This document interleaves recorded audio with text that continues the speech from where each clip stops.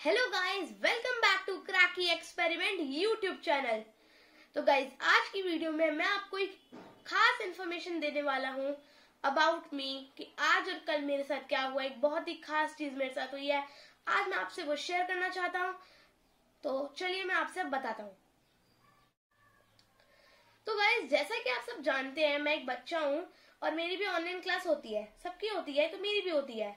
कल जब मैं ऑनलाइन क्लास ले रहा था ना तो फ़र्स्ट मेरी क्लास जो थी नाइन टू नाइन फोर्टी वाली, उसके अंदर मुझे पता लगा कि हमारी क्लास में एक आज़ादी का अमृत महोत्सव नाम का प्रोग्राम इंडिया सरकार चला रही है। क्योंकि हमें आज़ाद हुए पूरे पिछहत्तर साल हो चुके हैं, मैं बहुत प्राउड फील करता हूँ। तो हमें बताया गया कि इस आज़ादी के अमृत महोत्सव प्रोग्राम के अंदर हर क्लास से दस बच्चों को मिस्टर नरेंद्र मोदी, यानी हमने प्रधानमंत्री हमारे, उनको लेटर लिखने का मौका मिलेगा। तो गाइज़ आपको पता है मैं बहुत क्यूरियस हूँ। तो मैंने भी उस समय अपना नाम सर को दे दिया। अब भैया, नाम तो दे दिया, लेकिन प्रैक्टिस बहुत ज़्यादा करनी पड़ी। उसके बाद पूरा दिन भर मैं लेटर लिखने में लगा हुआ उसके अंदर देखिए, दो टॉपिक्स थे यहाँ पर। एक था कि आप किसी भी फ्रीडम फाइटर के बारे में लिख सकते हैं अनसंग हीरोज या फिर 2047 इस ईयर को इसलिए हाईलाइट किया गया क्योंकि इस वर्ष हमें आज़ाद हुए पूरे एक शताब्दी बीत चुकी होगी।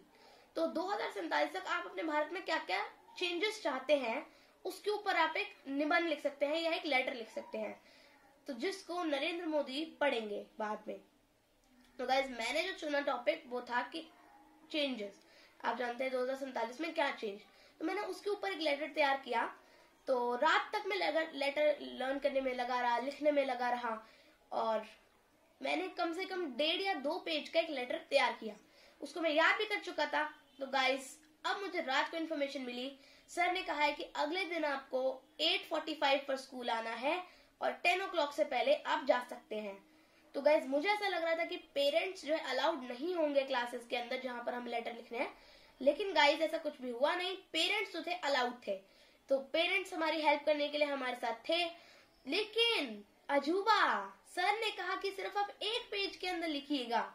भैया, हमने तो दो ढाई पेज का याद किया था, लेकिन लिखना मुझे अब एक पेज में तो गाइस बहुत छोटे छोटे सेंटेंसेस हमने बनाए। हर टॉपिक को हाईलाइट किया कि एकता, समानता, साक्षरता। तो गाइस अगर हम ये सब करेंगे ना तो दो तक हम विश्व गुरु ज़रूर होंगे। मैं बिल्कुल विश्वास के साथ कह सकता हूँ। गाइस हमने जब लेटर लिखा, उसके ऊपर मम्मी ने ट्रांसलेट करके लिख दिया और हमने वो दे दिया सर को। आशा करता हूँ कि नरेंद्र मोदी उस लेटर को पढ़ के बहुत खुश होंगे। हमारे माननीय प्रधानमंत्री महोदय। तो गाइस अगर आप जानना चाहते हैं कि मैंने क्या लेटर लिखा तो आपकी स्क्रीन के ऊपर उसकी कुछ फ़ोटोज़ और वीडियोस है, आप वो देख सकते हैं